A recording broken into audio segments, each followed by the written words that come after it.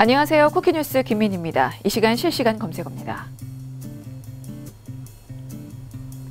손석희 앵커가 문재인 대통령의 신년 기자회견에 대해 권위주의 정부에서 벗어났다라고 평가했습니다.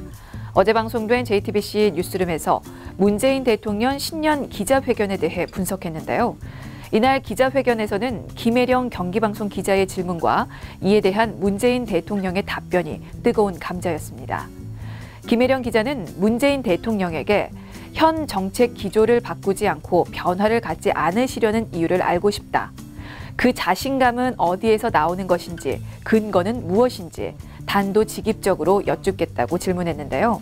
방송 직후 김혜령 기자가 이름과 소속도 말하지 않고 질문을 쏟아내며 예의에 어긋났다는 비판도 있는 반면 정부의 소득 주도 성장 정책에 대한 날카로운 질문이었다는 평도 있었습니다. 누리꾼들 반응 살펴보시죠. 무례했죠. 김혜령 기자에게 묻고 싶네요. 그럼 무례한 태도는 어디서 온 건지. 자신감 있게 30분 동안 설명해 줬는데 자신감의 근거를 대라니 어이없는 질문이죠. 김혜령 기자만 기자였던 것 같다. 기자가 정권 옹호하는 질문만 하고 옹호하는 글만 쓸 거면 그게 기자냐? 기레기지. 김혜령 기자는 해야 하는 질문을 했을 뿐인데.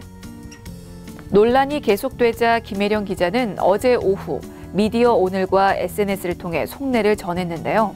김혜령 기자는 그 자신감은 어디에서 나오는 것인가? 라는 질문에 대해 오해의 소지가 있었지만 절대 무례하게 하려던 의료가 아니었다고 해명했습니다.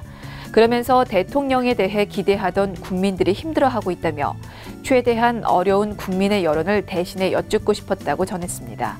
또한 태도 문제에 대해서는 건방진 태도로 질문하면 당연히 안 된다. 그럴 의도가 아니었고 기자의 사명을 생각해 최대한 객관적이고 단도직입적으로 물은 것뿐이라고 밝혔습니다.